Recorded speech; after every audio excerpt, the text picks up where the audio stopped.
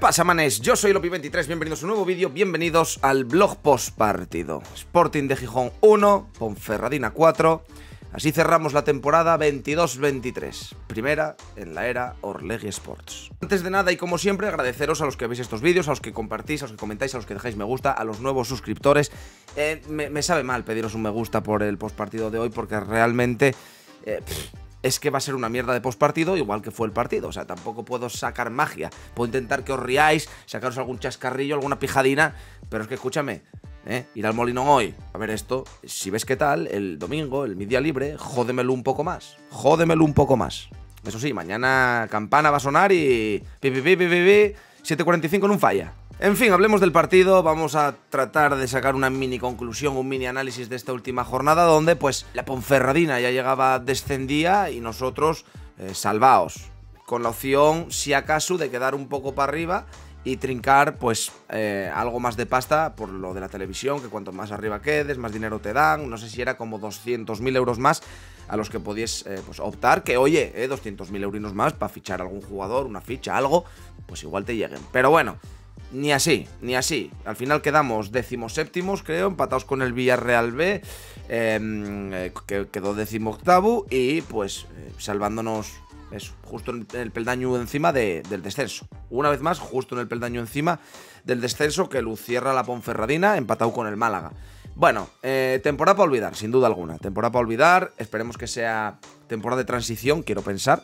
Aunque ahora siento miedo, siento miedo, gente. Siento miedo por lo que se pueda venir la 23-24. Hoy vimos la última alineación de esta temporada de MAR. En la alineación hay alguna cosina para destacar, como el debut de Miguel en el lateral derecho, pues que también salió con Aitor de titular. Obviamente, a priori va a ser su último partido en el Sporting, con Pichu capitaneando de nuevo a la plantilla, capitaneando de nuevo al equipo. convierte hoy oficialmente en el tercer portero con más partidos jugados en, la historia del Sporting. Castro, Ablanedo y luego él, o sea, Castro y Ablanedo, One Club, y luego Pichu Cuellar, que lleva aquí 11 temporadas, o si no me equivoco, hablo de memoria, 240 y no sé cuántos partidos. En fin, una auténtica leyenda que nos seguirá y que tendréis un vídeo eh, hablando tanto de la salida de Johnny como de la salida de Pichu, ¿vale? Eh, tenéis un vídeo que ya subí de la salida de Johnny, tenéis el postpartido y después de este postpartido tendréis otro vídeo dando mi opinión sobre la salida de Pichu, de la no renovación de Pichu. Que salida suena como que marcha él, pero la realidad es que lo echen, ¿vale? Entonces, bueno, con esta alineación salió, una alineación en la que, pues, por eh, H o por B tuvimos un par de acercamientos en la primera parte, un tiro de Barán, un tiro de Pedro, para es del portero, tiros lejanos, y luego, pues, el debutante Miguel, el que jugó de lateral derecho, pues marcó el 0-1, un gol en propia, mala suerte, puso a despejar, puede pasar ya cualquiera. El error de Bultu tampoco pasa nada, que decirte, pasa nada porque no te juegues nada, realmente, no te estás jugando nada más que dinero. No te estás jugando un descenso, un ascenso, una promoción, en fin, y un debutante puede tener un fallo, todos pueden tener un fallo, nadie perfecto. Además, yo sé que justo cuando pues, pasa esto, lo primero que hace Pichu y, pues obviamente, Animalu eh, coge y dice, Oye, venga, no pasa nada, tiramos para adelante. Lo que hace un capitán, a ver quién hace eso la temporada que viene, porque bueno, hablaremos de cosines que ahora se viene ya toda la movida de mercado y demás. Bueno, en fin, empezamos perdiendo, llegamos al descanso, de empezar la segunda parte, tenga Pichu Cuellar, entra de Amores, eh, entra también Otero, entra también Guille Rosas, quita Miguel. Bueno, hizo algunos cambios, quitó Keipo, marcó Otero, empató el partido. Luego ya, pues directamente esto fue una locura. o sea, no se jugó absolutamente nada y nos metieron otros cuatro, o sea, otros tres, para que fuesen cuatro en total.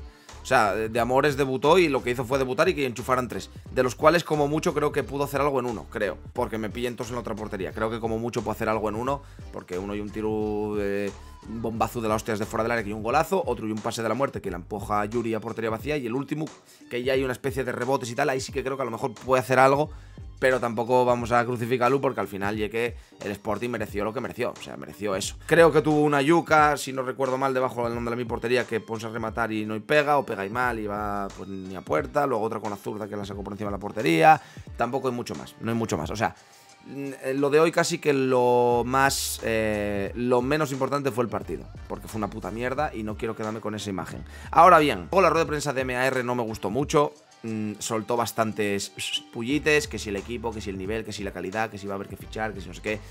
Vale, bueno, vale. Yo voy a intentar, os lo recomiendo a todos, si queréis hacer caso de un viejo esquizofrénico como yo, que resetemos. O sea, vamos a intentar olvidar lo que hizo MAR esta temporada, porque realmente no quiero ni ponerme a mirar datos comparándolo con Abelardo, porque creo que incluso saldría mal parado, siendo los mismos jugadores sin calidad que él dijo. Voy a intentar resetear esa parte, voy a intentar dar un voto de confianza con la plantilla que en teoría él va a confeccionar, aunque también considero que hay decisiones que se están tomando que, bueno, pues el que Cali no siga, Yuka probablemente no siga, Aitor no sigue, Johnny obviamente no sigue y creo que ha justificado que no siga. No se renueva Pichu Cuellar, no sé qué va a pasar con De Amores, no sé qué va a pasar con Cubano, no sé qué va a pasar con los porteros del B. Cuidado, cuidado porque se viene un poco de movimiento, ¿eh? Creo que se viene un poco de movimiento y creo que si este año jugó eh, Grupo Orlegui con la, mm, digamos, ilusión del cambio de propiedad, con la ilusión de proyecto, de lo que se está haciendo, de lo que se va a hacer, del Molinón 2030, de la profesionalización, de Pink, Pan, que nos la puso a todos como un garrote. Estoy de acuerdo, nos la puso a todos como un garrote. Si ahora, eh, de los cinco capitanes que tenéis este, año, que eran Mariño, Cuellar, Cali, Johnny y Yuka, de esos cinco no sigue nadie, hostia, cuidado, eh. Cuidado, que te cargaste cinco capitanes. Luego, todos los que acaben contra tú, eh, tipo Aitor eh, o Bruno, eh, los que acaben de cesión, Cristo, Otero, Marsá, los que puedan salir porque tienen cartel, Pedro. Cuidado, eh. Cuidado con lo que se pueda venir esta temporada. Este mercado. Cuidado, cuidado. Cuidado, y no quiero eh, ser agoreru ni quiero ser embajonador, porque bastante embajonados estamos todos. Yo, por lo menos, hoy estoy bastante embajonado. Que sí que es cierto que a mí lo que más me jode, pues por ejemplo, no haber podido ver a Johnny, poder disfrutar otra vez de Johnny, de aquel Johnny, me jode, me jode. A mí me jode. Hay gente que no, ah, porque vino aquí a chupar del bote. A mí me jode que no haya podido volver a disfrutar de Johnny. Y con lo que me quedo, con que no pude volver a ver aquel Johnny o algo parecido a aquel Johnny, al del 15, 16, 18. Yo lo que me jode. Pero son apuestas que, por H o por B, pues ese sí que salieron mal. Eso sí que salieron mal. Ahora bien, lo de MAR, que cojas, que me hagas un cambio de sistema, que Cristo que venía tal lo pongas de medio centro, que resulta que con Abelardo tenéis una defensa medio sólida y ahora es un eh, Colaeru, em, que resulta que Grajera vendístelo y para traer Barça para que luego tal, em, que jugaste sin bandes, lo poco que tenéis de bandes porque existe que Otero hay cosas ahí que me preocupen un poco y que, repito, voy a intentar resetear de cara a la próxima temporada, ¿eh? De verdad, voy a intentar resetearlo. De hoy del Molly, ¿con qué me quedo? Pues con la brutal despedida que recibió Pichu Cuellar de los 12.000, 13.000 que estábamos allí. Obviamente, mucha gente fue ya. Mucha gente fue ya para lo que fue esta temporada.